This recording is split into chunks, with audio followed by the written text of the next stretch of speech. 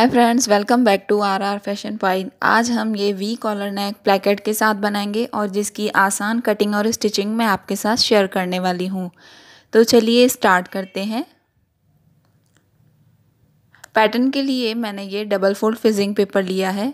यहाँ से नेक की ब्रथ पे मार्क करना है, जो मेरी मेज़रमेंट में है थ्री एंड हाफ़ लेंथ है मेरी सेवन एंड हाफ़ इंचज़ नीचे की तरफ़ प्लेकेट बनेगा तो उसके लिए हम फोर इंचज़ पे मार्क करेंगे।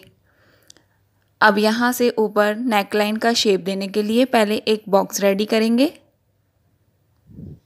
इस बॉक्स में इस तरह से वन इंच पे एक और मार्क करना है।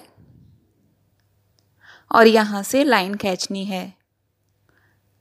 अब इस वन इंच बॉक्स में हम इस तरह से गोलाई में शेप देंगे। और इस लाइन को एक्सटेंड करके वी शेप देंगे। इस तरह नेकलाइन की मार्किंग होने के बाद बाहर की तरफ़ एक इंच छोड़ के और इस पूरे नेक की कटिंग करेंगे।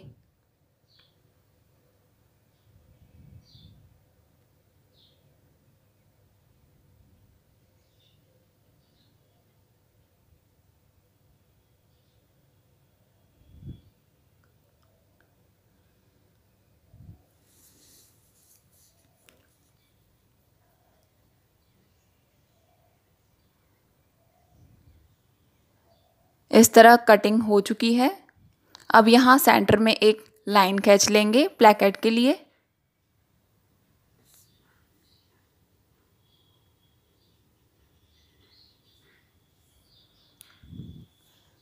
अब इस कटिंग को मैंने फैब्रिक पे पेस्ट कर लिया है।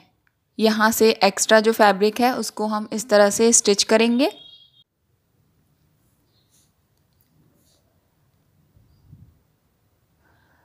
अब यहाँ जो हमने सेंटर में लाइन की है प्लेकेट के लिए, दोनों साइड हमें इस तरह से क्वार्टर इंच तक स्टिच करना है।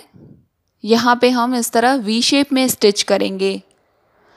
अब इस नेक लाइन की कटिंग को हमें कुर्ती के राइट साइड में सेट करना है। यहाँ भी मैंने नेक की विड्थ पे मार्किंग कर ली है।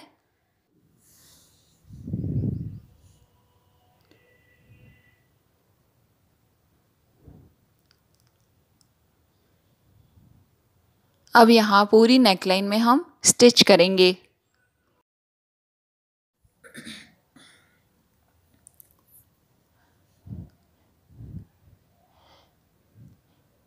वी शेप में स्टिच करके और इसी स्टिच को हम कंटिन्यू रखेंगे प्लेकेट के लिए। यहाँ भी इस तरह से वी शेप में ही स्टिच करना है।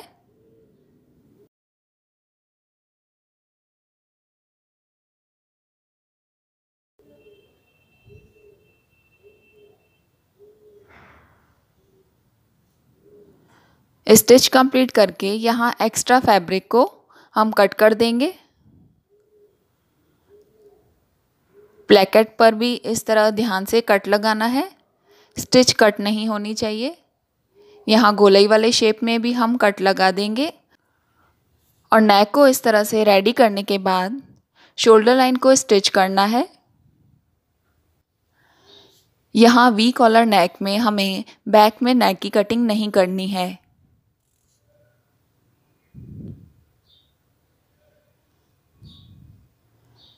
जो ये हमारा बैक पोर्शन है, ये हमारा अंदर की तरफ़ फोल्ड होगा कॉलर अटैच करने में। अब कॉलर के लिए हम मेज़र लेंगे।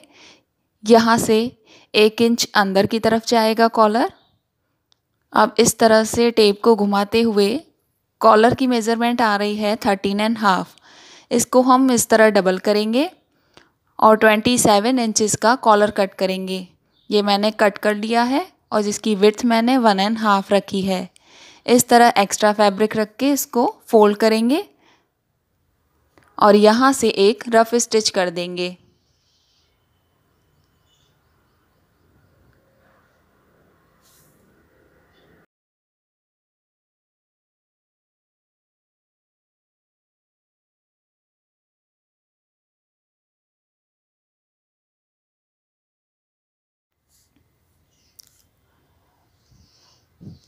इस तरह कॉलर रेडी हो चुका है। पैटर्न के लिए थर्मोकॉल बॉल्स और ये स्ट्रिप की ज़रूरत पड़ेगी। अब यहाँ प्लेकेट एरिया से हम इस स्ट्रिप को लगाना स्टार्ट करेंगे। इस तरह डबल फोल्ड करना है। यहाँ इस तरह प्लेकेट पर सेट करेंगे और स्टिच स्टार्ट करेंगे।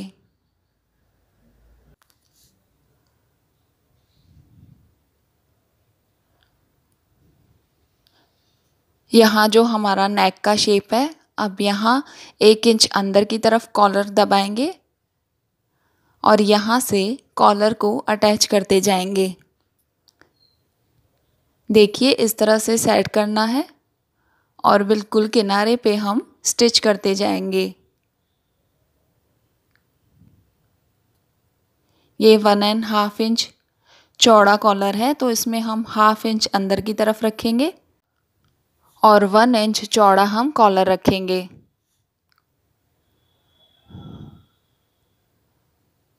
यहाँ फ्रंट में स्टिच करने के बाद कॉलर को बिल्कुल सीधा रखें और बैक में जो हमारा ये हाफ़ इंच तक है, उसे अंदर की तरफ़ फोल्ड करके और स्टिच को कंटिन्यू रखेंगे।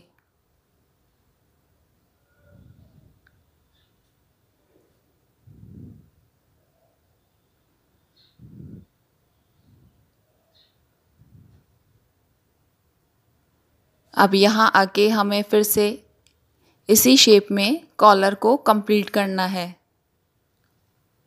अब प्लेकेट के दूसरे साइड हम थर्मोकॉल बॉल्स यूज़ करेंगे।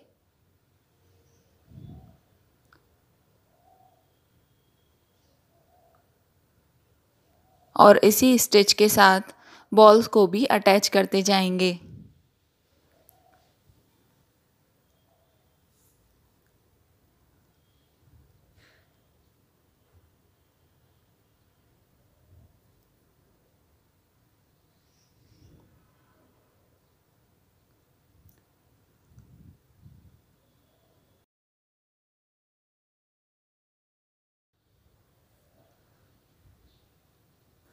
इस तरह प्लेकेट की एक साइड स्टिच कंप्लीट होने के बाद, जो प्लेकेट पे हमने स्ट्रिप लगाई है, उसको बॉल्स के नीचे की तरफ़ रखेंगे और यहाँ से स्टिच करके और नेक लाइन रेडी करेंगे।